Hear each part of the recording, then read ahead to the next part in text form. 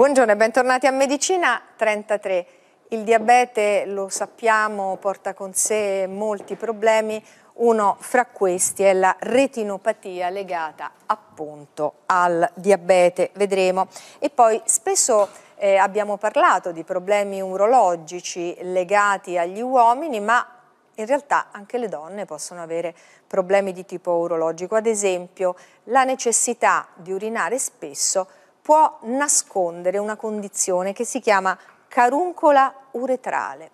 Di questo parliamo con il nostro ospite in studio di oggi, il professor Gabriele Antonini. Buongiorno. Buongiorno a voi, grazie per l'invito. Professore, Università La Sapienza di Roma e Policlinico Umberto P. Professore, la prima cosa che le chiedo, ma è vero che la parte urologica nelle donne è un po' trascurata? Diciamo che non è trascurata, ma fondamentalmente, avendo la donna le stesse condizioni patologiche che ha l'uomo, quindi problemi di calcolosi renali, problemi di infiammazione della vescica, di, quindi di cistiti, problemi di incontinenza, eh, la donna soprattutto si rivolge al ginecologo, arriva all'attenzione dell'urologo sempre in seconda battuta, soprattutto quando ha un problema che non è stato diagnosticato dal ginecologo oppure ha un problema di calcolosi ai reni. Allora, lei ha parlato di cistite, effettivamente è una delle cose più comuni nelle donne, invece però la necessità di andare spesso in bagno può nascondere qualcos'altro, cosa? In prima battuta la necessità di eh, andare spesso ad urinare potrebbe essere correlata, soprattutto, eh, soprattutto, andando avanti con l'età nella donna, una iperattività della vescica, quindi un problema di tipo neurologico. Ma c'è una condizione di ostruzione a livello uretrale, l'uretra è il canale che porta fuori la pipì, che potrebbe determinare una frequenza importante e alterare in modo eh, sensibile la qualità di vita sociale della donna.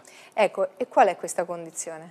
La condizione si chiama caruncola uretrale, è una condizione non patologica, è un'infiammazione della mucosa uretrale che praticamente diventa eritematosa, fuoriesce un pochino e va ad ostruire il meato uretrale. Il meato uretrale che normalmente eh, misura un paio di centimetri, quindi crea un'ostruzione meccanica. La donna non riesce più a urinare bene, il getto è un getto debole e aumenta la frequenza.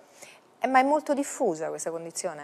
È molto diffusa, tante donne non sanno di avere questa condizione di ostruzione, di solito è correlata all'età e alla eh, menopausa perché il calo del, degli estrogeni determina queste infiammazioni uretrali che possono provocare appunto questa ostruzione. Ma può degenerare? Assolutamente no, non è una patologia maligna, qualche volta può sanguinare, il problema è un problema di ostruzione, quindi c'è un'alterazione importante della qualità di vita menzionale della donna.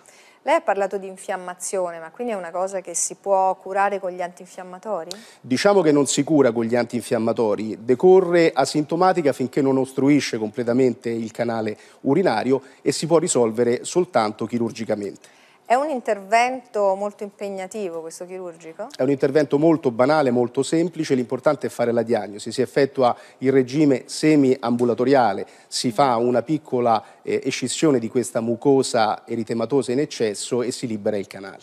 Eh, ma e come si fa a diagnosticare però questa condizione? Basta una semplice visita, un esame obiettivo, basta controllare il meato uretrale, ovviamente se la, se la paziente riferisce questi sintomi di ostruzione e di aumento di frequenza menzionale. Una volta fatto questo intervento chirurgico poi è definitiva la soluzione? Assolutamente, si pone un catetere vescicale per un paio di giorni per aiutare la zona a guarire dalla, certo. eh, dalla, dalla procedura chirurgica e non ritorna assolutamente. Tempi di convalescenza? Ma in una settimana si guarisce. Benissimo, grazie. Grazie, grazie professore. Grazie. A questo punto il nostro secondo servizio di oggi, vi ricordo però sempre la nostra email sentimedicina33 chiocciolarai.it, ci potete scrivere ogni venerdì dalla pagina Facebook del TG2, un esperto risponderà ad alcune delle vostre domande. Vi saluto e vi do appuntamento come al solito con Medicina 33. Arrivederci.